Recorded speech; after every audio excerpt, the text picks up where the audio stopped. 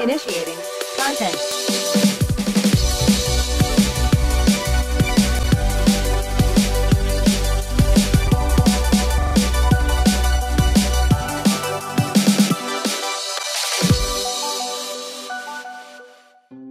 Top 5 Facts about Game of Thrones Number 5. The final season will feature several callbacks to Season 1. For anyone who needs a refresher course on all things Game of Thrones to get ready for the final chapter, all you need to do is rewatch Season 1, according to Maisie Williams. In an interview with Entertainment Weekly, the Arya Stark actress revealed that after she knew the ending to Season 8, she had to go back and rewatch the first season.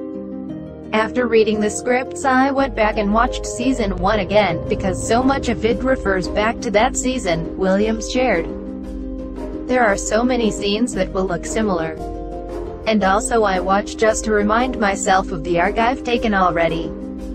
I wanted Arya to go full circle and try for some kind of normalcy like when she was younger. Number 4. Swords of the Fallen.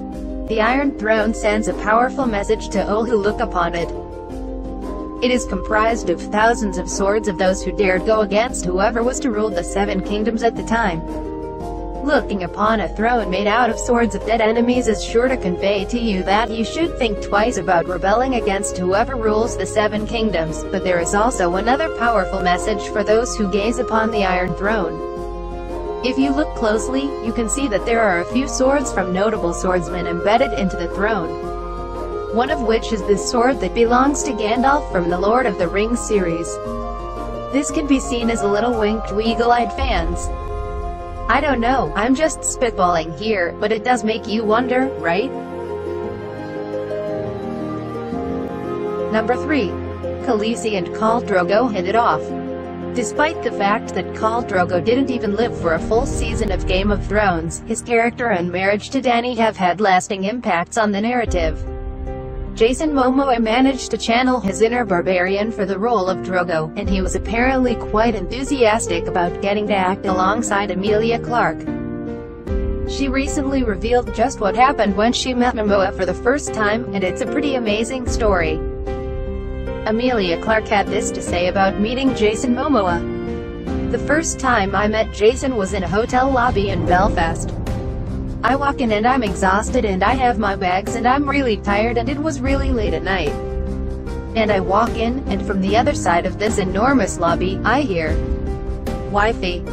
And this huge Hawaiian man comes bounding over to me, picks me up, and genuinely gets me in like a rugby tackle to the floor. It was only when he picked me back up and kind of dusted me off, and I was like, Who are you? Number 2.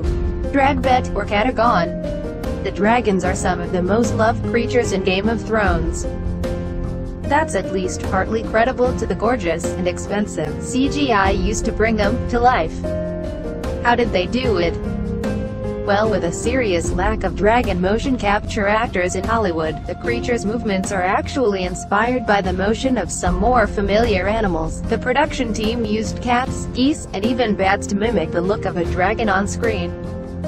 Imagine a goose dressed up in a green motion capture suit, pretending to be a dragon. You're now halfway to making an episode of Game of Thrones. Number 1. Scientists have calculated the odds to try and predict who'll survive Season 8. Reidar Lystad and Benjamin Brown. Injury epidemiologists at Sydney's Macquarie University watched all the current episodes of Game of Thrones with an eye towards mortality trends and believe that they have determined some key factors in who is most likely to live or die in Season 8 statistically speaking. The news is not great for low-born males with a high level of loyalty, who are the most likely to be killed. On the plus side, the study found that upper-class women have a better survival rate. In addition, switching allegiances seems to lengthen a character's lifespan. Using these criteria, and further expounding on their findings in the media, the research suggests that Sansa and Arya Stark have the best statistical chance of surviving the series as they have changed allegiances. While Daenerys Targaryen and Cersei Lannister have the highborn factor working in their favor, the fact that they've both remained fiercely loyal to their initial goals may not bode well for their ultimate survival. Not far behind the Stark sisters in terms of survival probability are Jon Snow and Tyrion Lannister, who Lystad told HuffPost are both very much still in the running.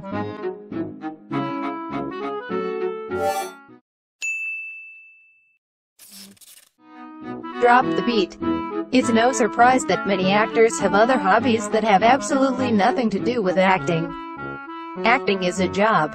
No matter how much fun it is, actors still need breaks from time to time to get into other activities that they enjoy. What if I told you one of the Game of Thrones actors is a successful DJ? Who do you think it would be? Take a quick guess. Alright, time's up. Who do you think it is? Wrong. It's Hodor. Can you imagine 6 feet 11 Hodor, Kristian Nairn, standing over a DJ booth and fist pumping in the air? That would be awesome to see. It would be even better if you took a bunch of Game of Thrones lines and mixed them together to make one awesome track.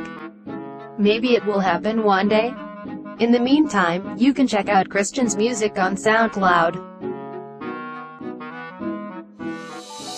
That was all the information we have available on the topic. We hope you enjoyed it. Please don't forget to subscribe for more interesting content.